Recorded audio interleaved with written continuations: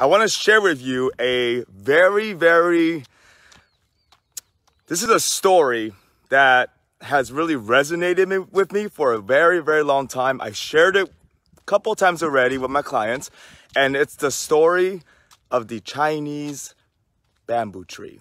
So, the Chinese bamboo tree, if you're not familiar with it, it's very, very tall. It's like 90 feet tall. But the story behind it is very interesting. It's a parable of consistency. So, did you know that the Chinese bamboo tree it takes five years to actually sprout.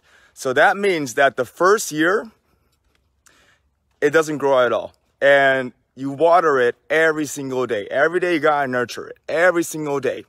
So the first year, nothing happens. The second year, nothing happens. The third year, after a thousand plus days that you watered it consistently, nothing happens. On the fourth year, nothing happens. On the fifth year, after the fifth year, it starts to grow. Now, here's the cool part. If you watered it consistently for five years, in a time span of about five weeks, it grows from zero to 90 feet. From zero to 90 feet in five weeks. That's crazy, isn't it? But the first five years that you water this Chinese bamboo tree, nothing happens. Nothing. And if you stop, if you don't nurture this Chinese bamboo tree within those five years, let's say you skip the day, it won't grow. It won't.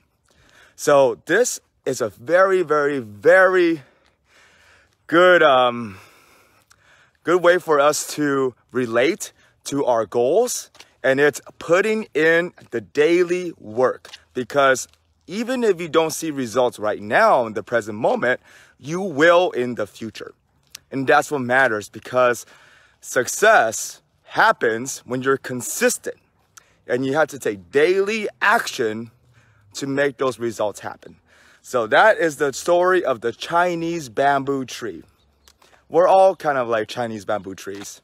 We all have our goals and we all have to put in an amount of hard work to make it happen. So, happy Wednesday, folks.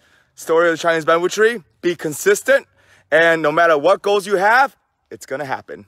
Okay? So go win today and I will talk to you tomorrow.